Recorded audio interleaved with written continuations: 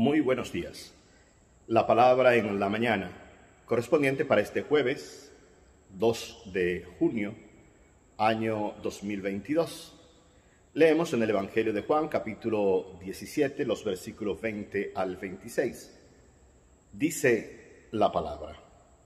En aquel tiempo Jesús, levantando los ojos al cielo, oró, diciendo, Padre Santo, no solo por ellos ruego, sino también por los que crean en mí por la palabra de ellos, para que todos sean uno. Como tú, Padre, en mí y yo en ti, que ellos también lo sean en nosotros, para que el mundo crea que tú me has enviado.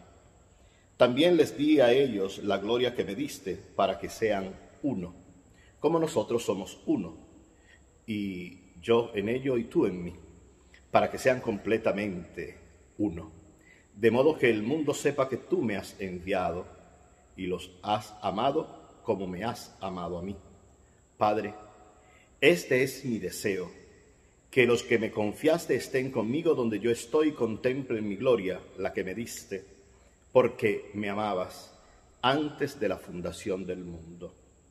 Padre justo, si el mundo no te ha conocido, yo te he conocido, y estos han conocido que tú me enviaste les he dado a conocer y les daré a conocer tu nombre, para que el amor que me tenías esté con ellos, como también yo estoy con ellos.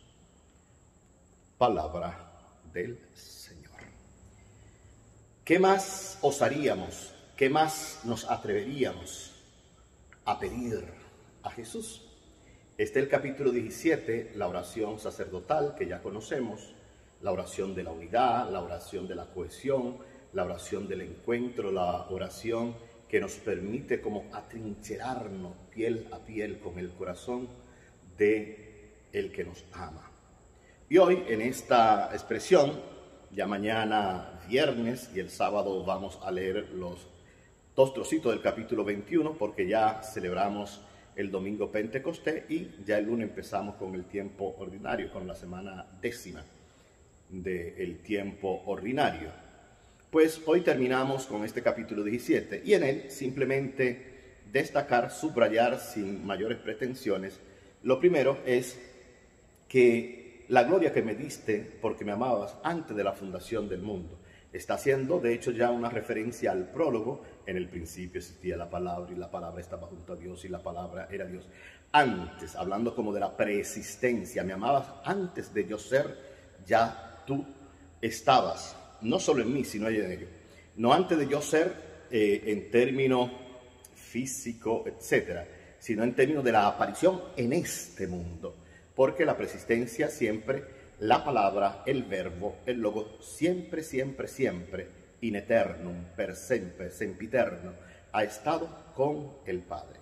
Por lo tanto, esta relación de amor del Padre y el Hijo es uh, por todos los tiempos, y antes del tiempo y después del tiempo. No es para entenderlo, simplemente para osar vivirlo. Y Jesús hoy nos está diciendo, eh, tú me lo confiaste y están conmigo, y yo deseo que contemplen mi gloria, la que me diste, porque me amabas.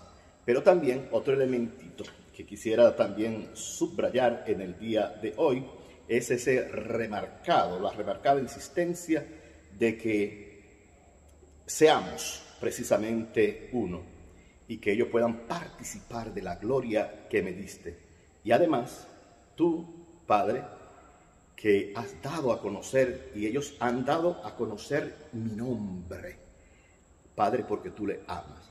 Ojalá que también nosotros podamos vivir de a poquito, de a mucho, de a poquito tal vez, esta experiencia de ungüento, de untarnos con la persona de Jesús, pero de sentirlo tan cercano, tan próximo, tan prójimo nuestro, que podamos decir con el Padre, con el Hijo, con Jesús, con la familia humana toda, ciertamente somos uno, como hecho de los apóstoles que la multitud de los cristianos, todos ellos tenían un solo corazón y una sola alma. Buenos días, la palabra en la mañana.